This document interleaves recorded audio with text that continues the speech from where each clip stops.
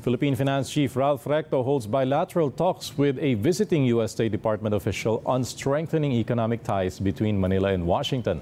The visiting American official, Undersecretary for Economic Growth, Energy and Environment, Jose Fernandez, highlighted specific areas of interest like critical minerals, semiconductors, and energy security. Secretary Recto expressed willingness to collaborate on these areas. He also reassured Washington of the Philippine government's strong resolve to address investor concerns like high electricity costs. Meanwhile, in another meeting, Secretary Recto lauded the Securities and Exchange Commission for its digitalization initiatives. He urged the SEC to team up with the Bureau of Internal Revenue for efficient data sharing and reconcile records of registered corporations, enhancing tax collection efficiency. The latest now on President Ferdinand Marcos Jr.'s state visit to Vietnam, Manila and Hanoi signed agreements to increase cooperation on rice trade and maritime security in the South China Sea. The Memorandum of Understanding on Rice Trade Cooperation creates a framework to ensure and establish sustainable food supply amid the impact of climate change and other factors. Vietnam agreed on a five-year trade commitment to supply white rice to the Philippine private sector of up to 2 million metric tons per year. President Marcos also saw the signing of an MOU on incident prevention and management in the South China Sea.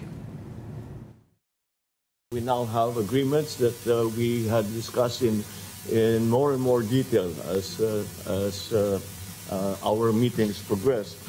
I'm, I'm grateful for the opportunity to uh, look into further the ever-evolving relations between our two countries. Our discussions on the sidelines of the past three ASEAN, I have another chance to meet with you now and explore the progress in the relations between Vietnam and the Philippines.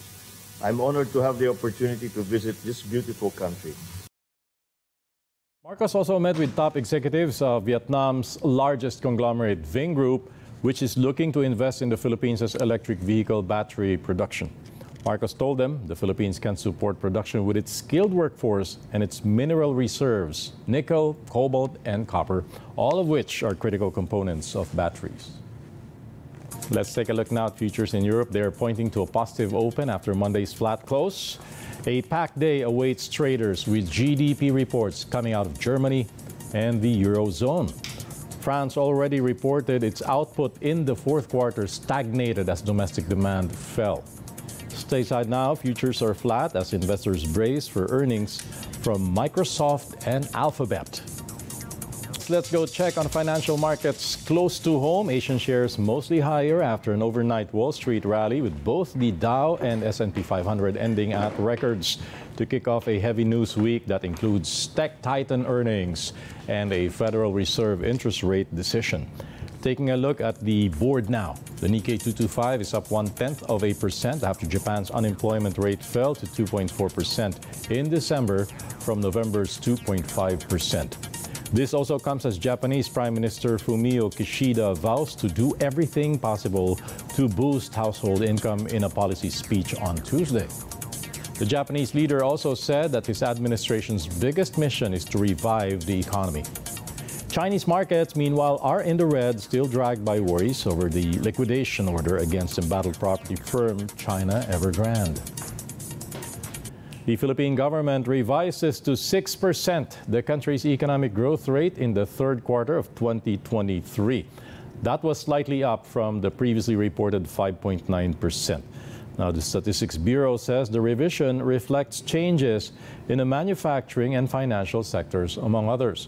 The move comes ahead of the release on Wednesday of the fourth quarter and full year growth figures for 2023. First Metro Investment expects the economy to grow by 5.5% in the said year, falling short of the government's target range of 6 to 7%. Now, this year, First Metro projects an expansion rate of 6%. A former senator chiming in on the rift between the Dutertes and President Marcos. Antonio Trillanes IV now calling on Vice President Sara Duterte to resign as Education Secretary of the Marcos cabinet. In a post on X, he said VP Duterte should be ashamed of the chaos that her father and brother instigated by insulting President Marcos. Sara Duterte was one half of the Uniteam coalition during the 2022 election that she and the president won. Anchors and reporters of suspended TV network SMNI seek a reprieve from the country's highest court. They filed petitions for a temporary restraining order and injunction against the cease and desist order of the National Telecommunications Commission, which caused the suspension of SMNI's operations.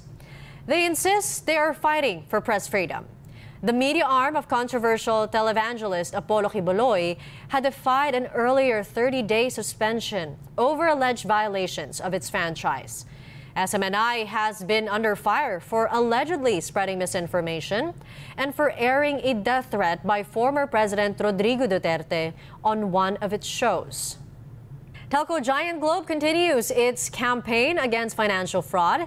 The company says the number of bank-related spam and text scams that it blocked last year were significantly down by 73.7 percent. This reflected to nearly 22 million intercepted incidents of such versus the 83 million in 2023. Globe says this shows its commitment to combat financial fraud and is also a call for it to continuously enhance its security measures. The telco has invested some $20 million to filter out unwanted messages for its customers.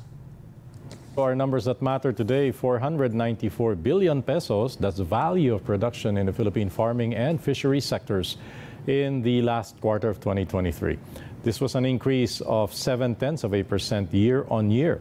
Government attributes this to higher value of crops, livestock, and poultry. Crop production remained the biggest contributor to total output at 290 billion pesos. This was followed by livestock and poultry.